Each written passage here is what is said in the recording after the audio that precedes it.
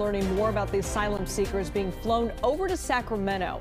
The migrants say they were approached outside a Texas shelter with promises of employment and housing. Wow. As Dina Demetrius is about to show you, Florida officials are taking responsibility for flying them here. Faith based groups and local government are working together to provide food and housing for 36 asylum seekers recently flown to Sacramento without any apparent notice given to officials in California. What can we do and what must we do to make sure that 36 people know that they are safe and that they are welcome? The first plane delivered 16 migrants to Sacramento's executive airport last Friday.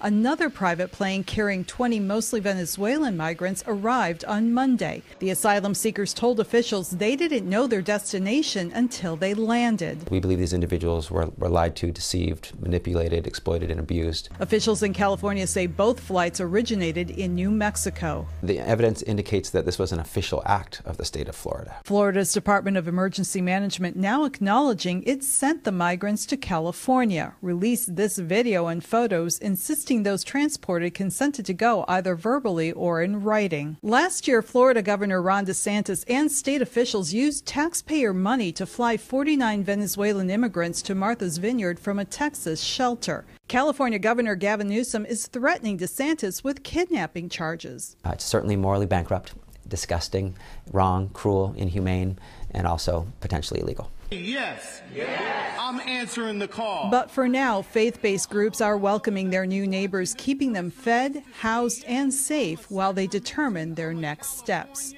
So, officials in Texas say criminal charges should be filed in connection to flights carrying 50 Venezuelan migrants from San Antonio to Martha's Vineyard last fall.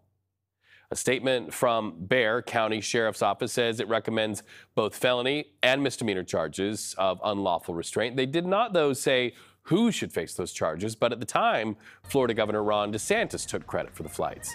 He was criticizing the Biden administration's immigration policies and claims the migrants were not misled.